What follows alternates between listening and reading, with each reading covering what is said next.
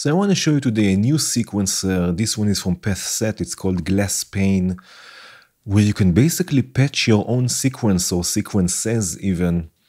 Um, and it's quite quite fun. I'm going to show you a bit how it works, and then it's uh, it's on you to go and explore this because it's uh, it's quite an interesting concept. Anyway, this is the module. As you can see, we have um, four on four basically, so 16 steps.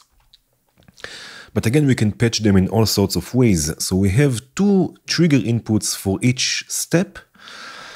Basically, they are um, identical, right? And we have three trigger outputs on each step that will, by default, they will cycle. You see here we have the different modes. We have by default cycle. So with each trigger they receive, they will cycle one, two, three, and then go back to one. Right, and like this we can patch basically the sequence. Uh, we have also the CV control here. Here we have gate CV. I'm using a quantizer as always.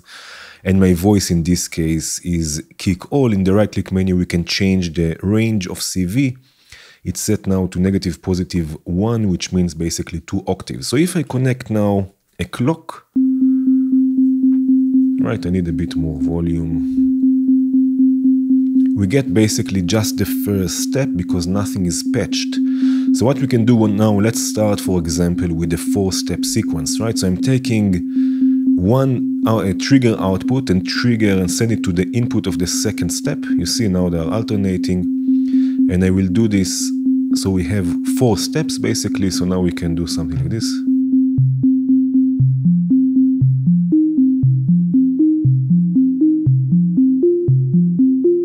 Right?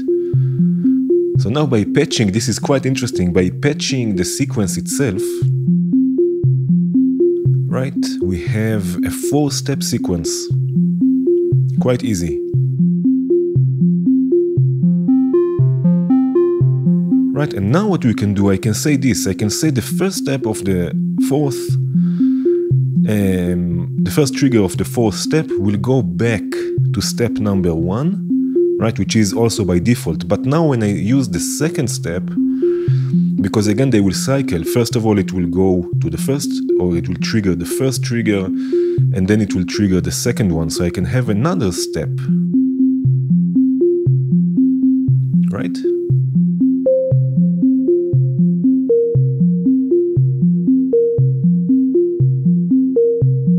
Right, and then I can say, okay, this step will trigger yet another step.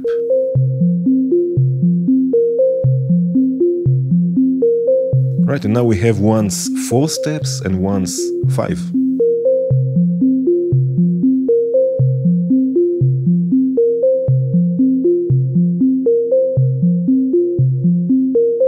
Which is quite, quite cool. And I can say I can take this even further. This is quite a cool concept.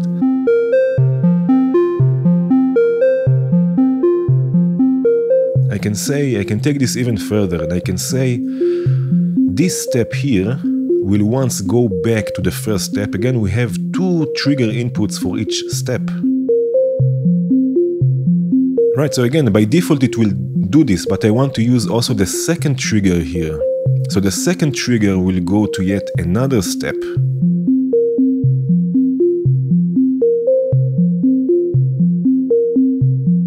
Right, and now we have another mode. And this mode is called random. And basically, instead of cycling between the outputs, it will randomly output a trigger from 1, 2, and 3. And again, in the right click menu, we can change this. You can see odds controls if random steps are evenly distributed or weighted to output A. So if you have this on weighted, it will more likely uh, to use or to choose output A, but I'm going to leave it as it is. Right, and now I can say it will randomly go to one of three destinations basically. So I can say one, two, right, and three. Right, and have different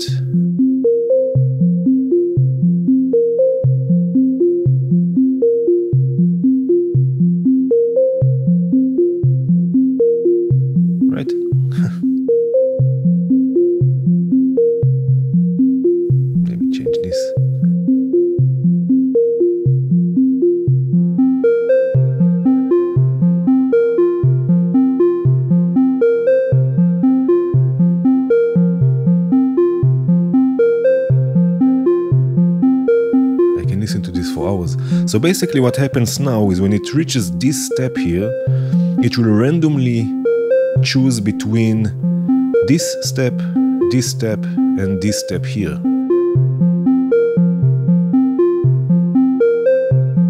Right? And now I can also use right I can also use those triggers outside basically of the sequence so here for example I have a VCA right that is being opened or it will be opened by an envelope and this VCA is going to a delay module basically, right, to corner Chronoblob 2. So what I can do, I can use a copy of this voice, right, send it to the VCA, and now say only when it reaches this step here, only on this step, which is happening randomly, I want the voice to go basically to the delay, and we get only then the delay, right? The delay is also 100% wet so we don't get the original voice. So what I will do, I will use the same trigger that is being used to trigger this step, which is again random. I'm going to use it to gate the envelope. So let's listen to this for a second and wait for it.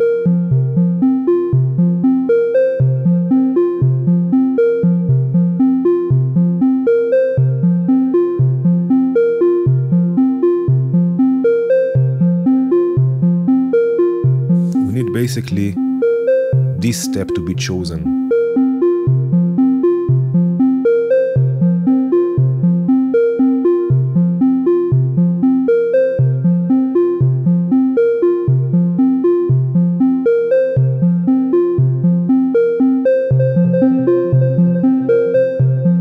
Oh yeah. Maybe a bit more feedback. Man, this is so cool.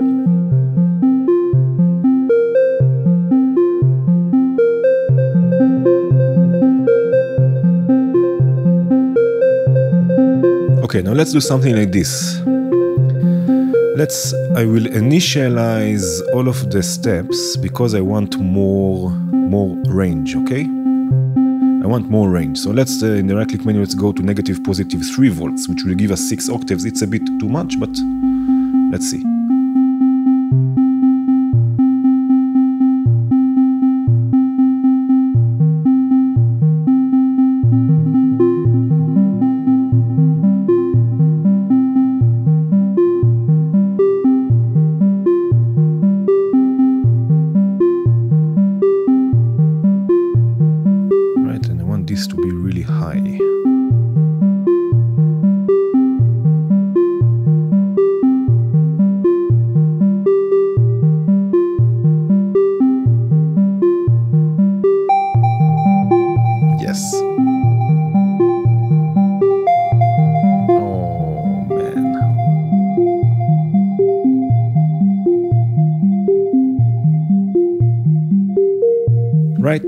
So now there is another mode. Wait a minute. Let's let's first of all have here another let's say another random mode, right?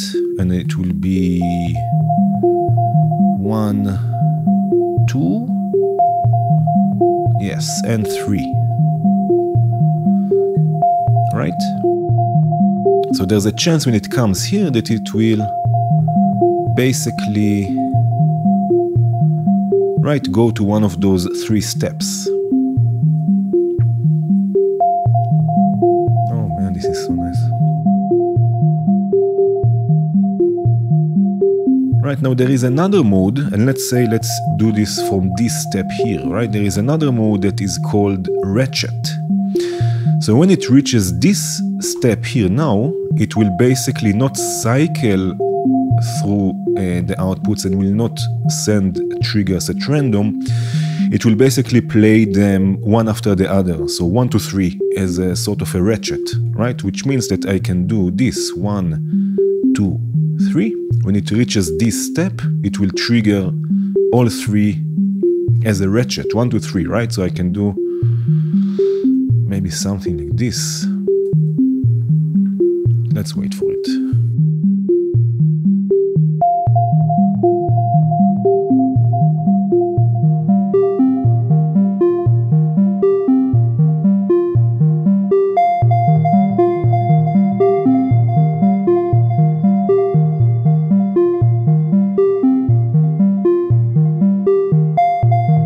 it. will not happen so often because we need two two random signals. So let's do something like this actually.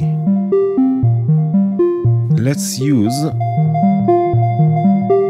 let's use the one that triggers this step, right? I will use the same trigger also to trigger. So there, there are there are double chances. You heard it now? right? Because again, we have two inputs for each step. Oh man, this is so cool. Let's wait for it one more time. Right, so this is the ratchet. And in the right click menu, you can change also the speed. I will leave it at half notes because it works nicely. But, but you can change also the speed. Now, again, you can use this also outside outside of the sequence, right? So in, oh man, so in this case, there are two triggers, right? So let's say that when one trigger happens, I want also the decay of the voice to go down. So the ratchet will be a bit more, a bit more interesting, right? So here again, I have an envelope. In this case, I'm inverting it, right? So it will go down instead of going up because I want the decay, the decay to go down, right? And not up with the envelope. So what I will do, I will use this to the decay input, right? And let's use this gate here or trigger to gate, oh man, to gate envelope, right? Let's listen to this. Right?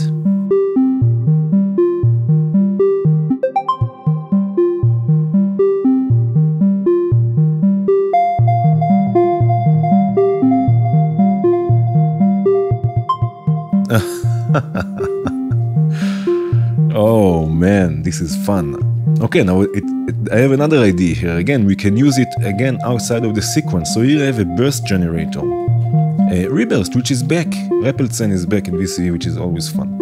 Right, which will create a burst of notes with an FM operator and some delay. So I want, when this ratchet ends on the glass pane, right, I want another ratchet here, another burst of notes. Will come from the FM operator.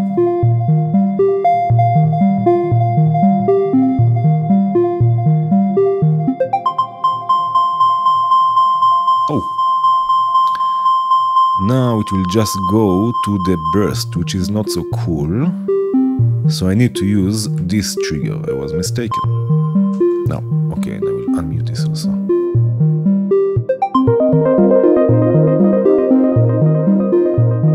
Oh yes. So basically, when it reaches this step here, I use the diff, uh, the wrong uh, gate. But when it reaches this step here, when this step is being triggered, it will trigger also a burst on the FM with the FM operator, right? And so cool. Basically, program your own sequence. Um, of course, there is a lot, a lot to explore here with all sorts of feedback stuff, also, I guess, and adding even more probability with external modules.